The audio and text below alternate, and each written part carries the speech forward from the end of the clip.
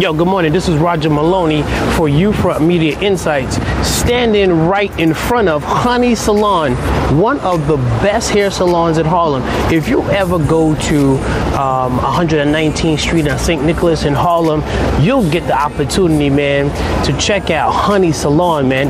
They are excellent, elegant, and they have everything that your hair needs to make you look like a superstar for real, man. I can testify to that because I brought my daughters here and my wife.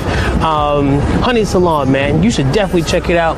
Here are the hot spots in Harlem in terms of hair care, excellence, and class, man. Honey Salon, man. Big shout out to them, man.